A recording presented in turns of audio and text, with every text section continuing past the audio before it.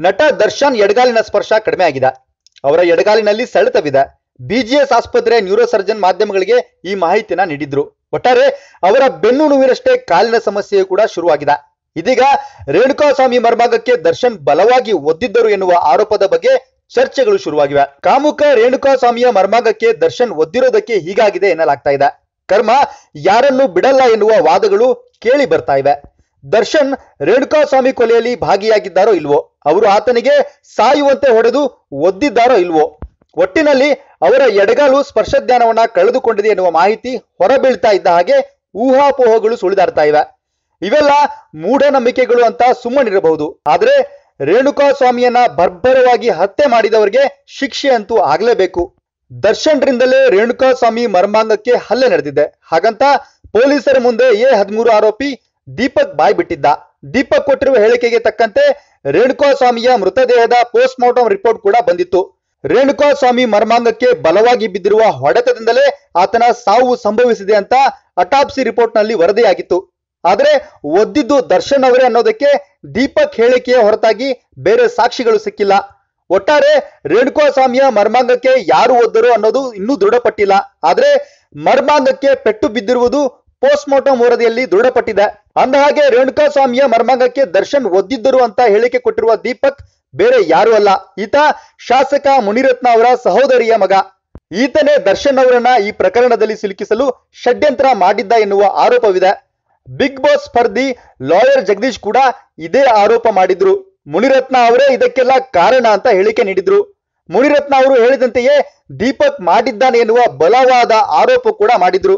ವಿಚಾರಣೆ ವೇಳೆ ದೀಪಕ್ ನಡೆದುಕೊಂಡ ರೀತಿ ಮತ್ತು ದರ್ಶನ್ ವಿರುದ್ಧ ಕೊಟ್ಟ ಹೇಳಿಕೆಗಳನ್ನ ಗಮನಿಸಿದ್ರೆ ಹಲವು ಅನುಮಾನಗಳು ಕಾಡ್ತಾ ಇದ್ವು.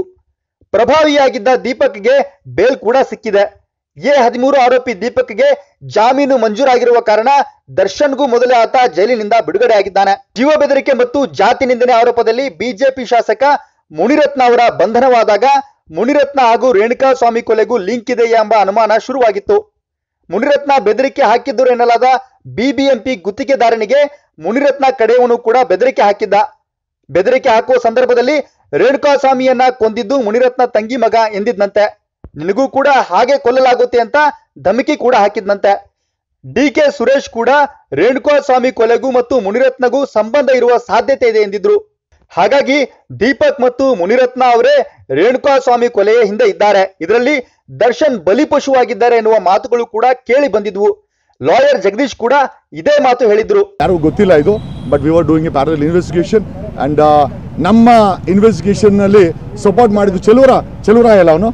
ಕಾಂಟ್ರಾಕ್ಟರು ಆ ಚೆಲುವರಾಜು ಚೆಲುವರಾಜು ನಮ್ಮ ಇನ್ವೆಸ್ಟಿಗೇಷನ್ಗೆ ಒಂದು ಪುಷ್ಟಿ ಕೊಟ್ಟ. ಏನಂತ ಹೇಳ್ದ ಅಂತಂದ್ರೆ, ಆ, Muni M L A Munirathna ನಮ್ಮನ್ನ ನನ್ನ ಮತ್ತು ನನ್ನ ಹೆಂಡತಿನ ಕೂಡಾಕ್ಬಿಟ್ಟಿದ್ದ.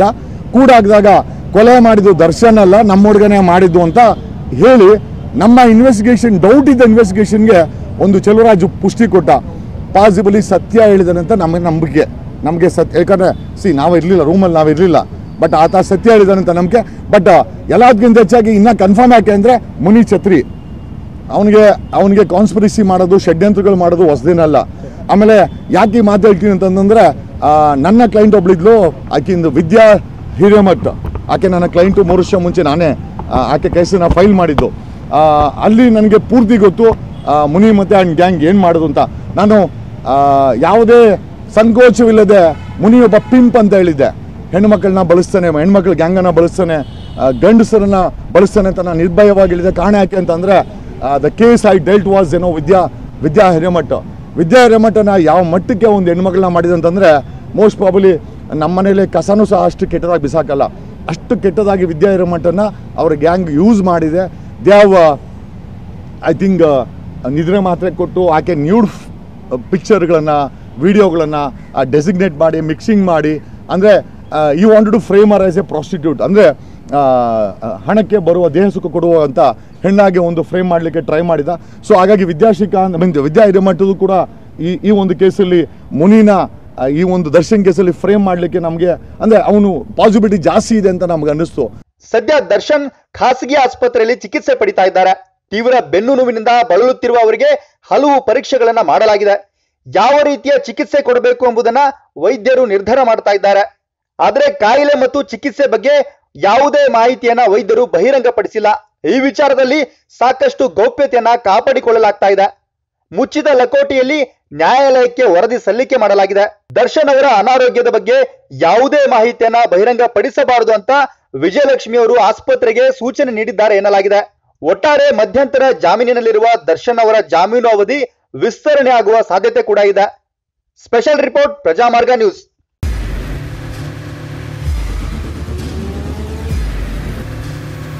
Prajamarga news. ಇದು ಜನಸಾಮಾನ್ಯರ ಧ್ವನಿ. ನಮಸ್ಕಾರ. ನಮಸ್ಕಾರ. ನೀವು ನೋಡ್ತಾ ಇದ್ದೀರಾ ಪ್ರಜಾ ಮಾರ್ಗ ನ್ಯೂಸ್ ರಾಷ್ಟ್ರದ ರಾಜ್ಯದ ರಾಜಕೀಯದ ಬಗ್ಗೆ. ಹೆಚ್ಚಿನ ಸಿನಿಮಾ ಅಪ್ಡೇಟ್ಗಳಿಗಾಗಿ ಫಸ್ಟ್ ಲೈಕ್ ಮಾಡಿ ಸಬ್ಸ್ಕ್ರೈಬ್ ಆಗಿ. ಹಾಗೆ ಫಾಲೋ ಕೂಡ ಮಾಡಬೇಕು.